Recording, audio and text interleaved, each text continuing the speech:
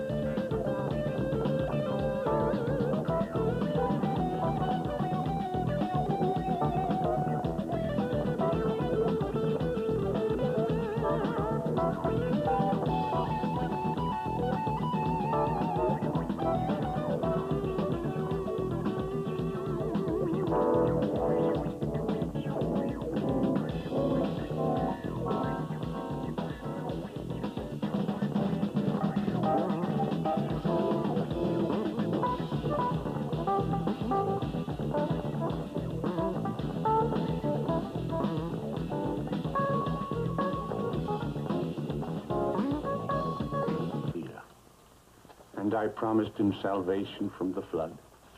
But it was not to be. Poor Eli.